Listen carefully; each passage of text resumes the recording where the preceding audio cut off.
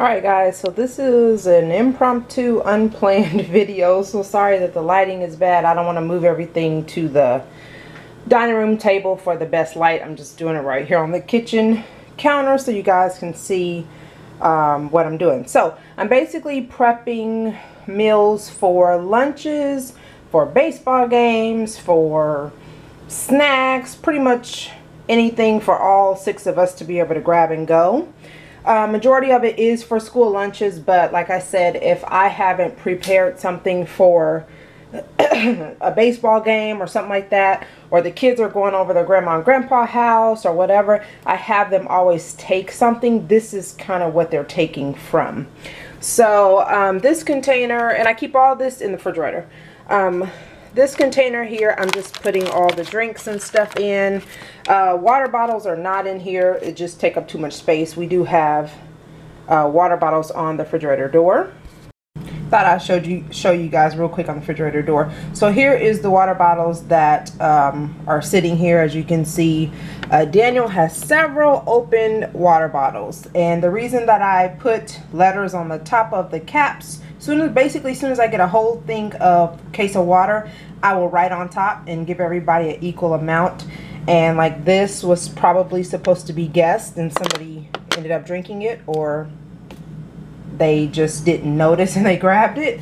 Um, this should be labeled but usually it's either Shawn or Jimmy so um, that's probably who that is. But anyway so the water thing when I get a case of water in I automatically go ahead and label them. I leave a couple uh, vacant like this for if we have guests. But the point of this is just so that I know who's wasting water, basically. Um, and it gives every, it kind of rations out the water for people because they can refill these from the sink if they want to. Um, but really the whole point is the kids would open up a water leave it out open up a water we had no clue who was doing that who's leaving all this water everywhere so i just came up with this simple idea to just when i get a case of water in i label it and there you have it. So um, it looks like Shawn has about three already open. Daniel has four. Jimmy has two. Nay has one. Uh, Jeriah is really good with drinking her water before she opens another one. So you don't see any in here because they're probably either in her um, snack bin or they are out in the garage um, that she hasn't gotten a new one.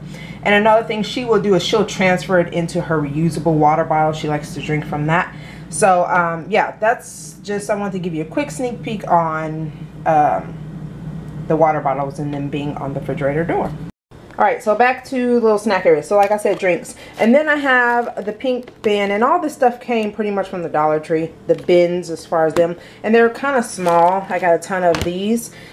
so this has like popcorn, veggie straws, and some like plain potato chips down in there. Um, yeah, so that's something crunchy. This can change. It can be Chex Mix. It can be crackers. Uh, anything crunchy usually goes in there. And then we have the green one, uh, which has fruit in it.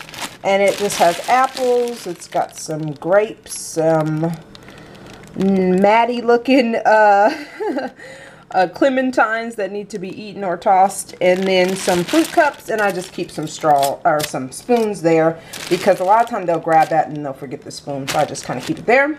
And then we've got this veggie one. It's got carrots and uh, pre-bagged stuff, some cucumber stuff like that. And I will be going to this store in town where I can get these little plastic, uh, small little, basically like sauce containers that I can put their ranch or French or whatever they want, peanut butter, whatever.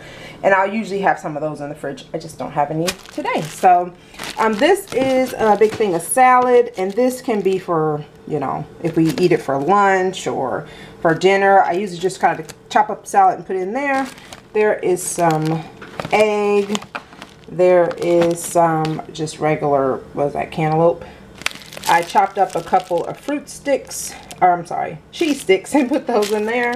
And some shredded cheese, and then here's just an extra uh, bag of lettuce. This is empty because I'm actually in the process of making sandwiches. And what I would do is just make sandwiches the night before, put them in here, and then they can get whatever they want. So meat sandwiches, PB&Js, uh, tortilla roll-ups, pita, sandwich type things, uh, flatbread, whatever I pre-make up will go in here. Um, so that's that. I haven't done it yet.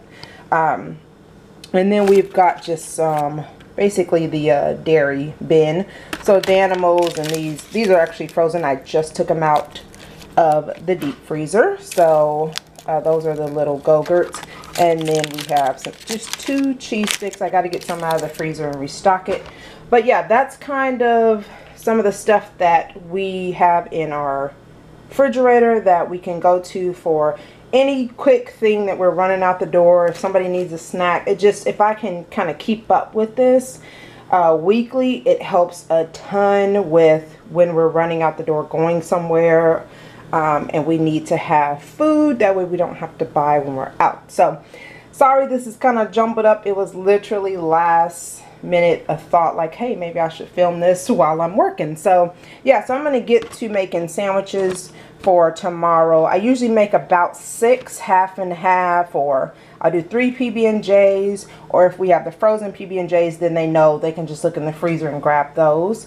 But I try to at least have maybe two or three of those, two or three meat, some type of tortilla roll-up type of thing. Um, also, this can have tortilla chips in it, this bin sometimes, and then the little cap would have salsa if they want chips and salsa for lunch. Um, and then if we do like our Tupperware, um, where we put different stuff in there, then obviously that would be like, I would make that the night before or morning of. It wouldn't be from all this, like if we did a Lunchable type thing.